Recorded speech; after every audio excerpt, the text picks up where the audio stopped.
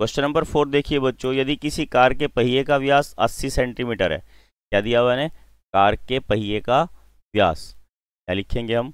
Car के जो जो दिया वो लिख लेते हैं पहले। पहिए का व्यास ये diameter of wheel of a दिया है? 80 सेंटीमीटर। तो हम इसका रेडियस निकाल लेंगे सबसे पहले। Radius of wheel. कितना आ जाएगा? 80 अपॉन 40 सेंटीमीटर। ठीक है? उसके बाद इन्होंने क्या कहा है, देखिए। यदि कार छियासठ किलोमीटर प्रति घंटा की रफ्तार से चलती है तो 10 मिनट में पहिया कितने चक्कर लगाएगा? The wheel of a car R of radius 80 centimetre how many complete evolution does each wheel make in 10 minutes when the car is travelling at the speed of 66 kilometre per hour यानी कि सबसे पहले हमें क्या चाहिएगा? कि उस पहिए की परिधि कितनी है?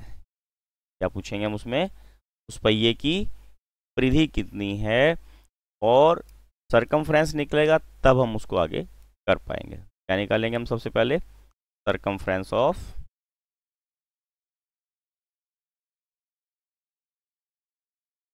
व्हील पहिए की पहिए का परिधि। फार्मूला क्या है हमारे पास? टू पाई आर तो two into twelve upon two upon seven twenty two upon seven into forty calculate कर लेते हैं इसको, मान लो आ जाएगा हमारे पास फोर्टी फोर और मल्टीप्लाई करा। One seven six zero upon seven centimetre ये हमारे पास उसकी परिधि आ गई। अब स्पीड ऑफ़ कार कितनी है? कार की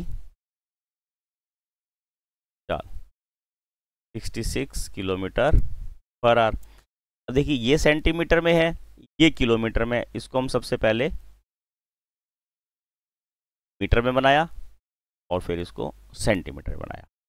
मैंने क्या किया? थाउज़ेंड से मल्टीप्लाई क्यों किया? किलोमीटर को मीटर में बनाने के लिए और हंड्रेड से मल्टीप्लाई किया मैंने मीटर को सेंटीमीटर में बनाने के लिए। अपॉन उन्होंने ऊपर मिनट्स पूछे। अब यहाँ पे हमारे पास आवर्स में है तो इसको हम मिनट में भी कन्वर्ट कर लेंगे।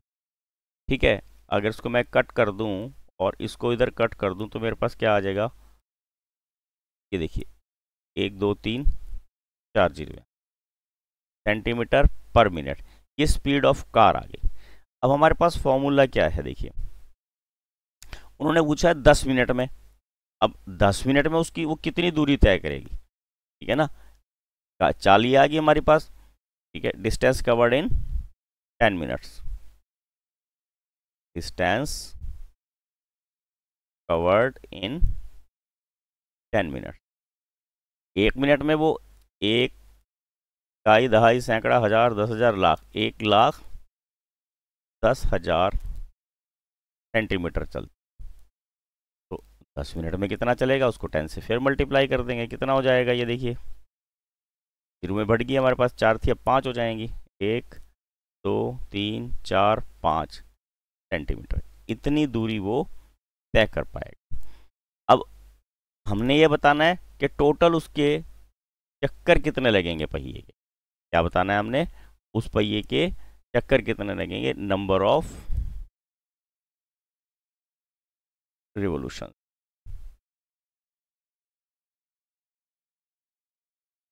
पहिए के चक्रों की संख्या।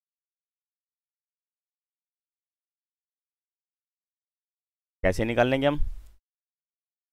दूरी तो टोटल दूरी तय करी दस मिनट में, ये है यहाँ पे। बटा परिधि, उस पहिए की परिधि कितनी है? तो कितनी आ जाएगी हमारे पास? ग्यारह, एक, दो, तीन, चार, पाँच। बटा मैं सत्रह सौ साठ देखिए, क्या आएगा हमारे पास? One one, zero zero zero. Five zeros हैं इंटू सेवन अपॉन इससे आपने घबराना है, ज़ीरो से ज़ीरो काट दी। आपको ज़्यादा नहीं आता, टू से तो आता होगा ना, टू से काटिए इसको। एटी एट आ जाएगा, इसको टू से काटेंगे, कितना आ जाएगा? Five five, zero zero zero. अब आपको ज़्यादा नहीं, अब देखो क्या पता लग रहा है। इलेवन से कट जाएगा, इलेवन से आया फाइव फाइव थाउज़ेंड, इलेवन से कट करके एट आ गया। एट कट्टे वो सबको आता होगा, देखिए।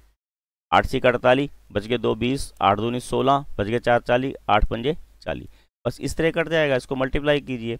सात पंजे पैंती का पाँच, हँसी लगा तीन, सात दूनी चौदह और तीन सत्रह, सात हँसी लगा एक, सात छः बयालीस और एक अड़तालीस चार हज़ार तीन सौ पचहत्तर जो है उसके चक्कर आ जाएँगे, ये हमारा एक आ गया। सर आ गया हमारे पास ये ये हमारा फोर्थ क्वेश्चन कम